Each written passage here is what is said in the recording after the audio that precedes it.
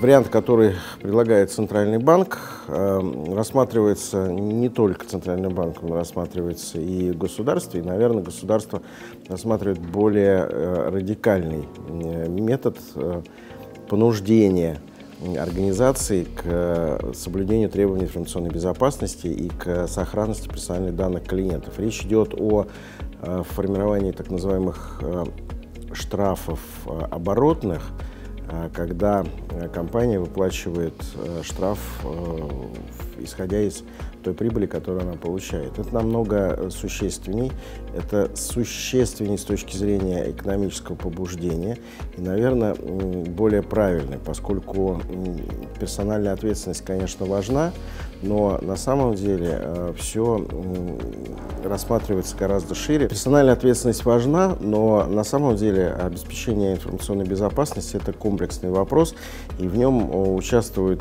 достаточно большое количество э, персонала и руководителей отдельных подразделений. Поэтому, на мой взгляд, важнее, чтобы организация ощутила экономическое давление на себя в случае возникновения каких-то проблем, чтобы вот это экономическое давление правильно распределилось э, уже внутри компании. Могу сказать, что на сегодняшний момент э, практически весь э, спектр потребностей у заказчиков может быть удовлетворен теми решениями, которые производят российские компании, а, в том числе и а, компанию, которую я представляю.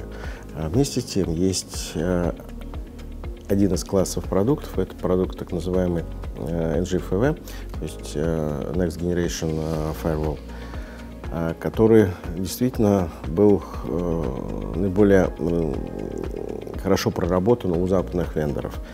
Но здесь э, более шести компаний готовят э, свои решения.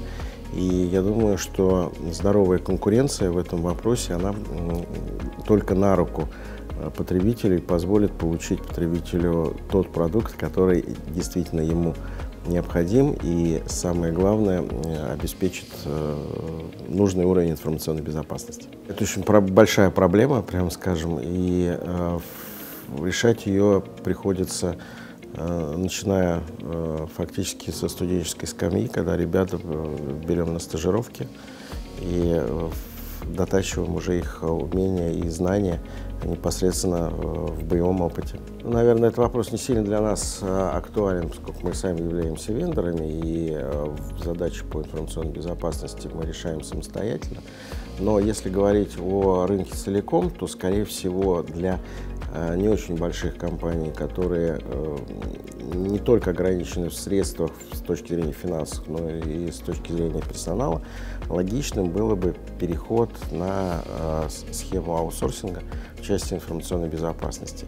Надо сказать, что такие услуги сейчас появляются, и это хорошо, но они должны э, сопровождаться и определенным контролем качества.